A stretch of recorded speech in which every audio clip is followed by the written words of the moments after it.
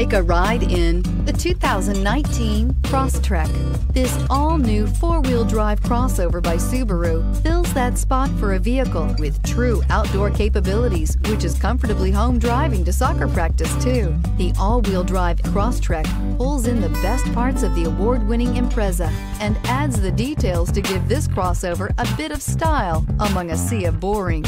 And since it's a Subaru, you know the Crosstrek is built to last and is priced below $35,000. This vehicle has less than 100 miles. Here are some of this vehicle's great options. Blind spot monitor, all-wheel drive, heated mirrors, aluminum wheels, rear spoiler, brake assist, traction control, stability control, daytime running lights, engine immobilizer.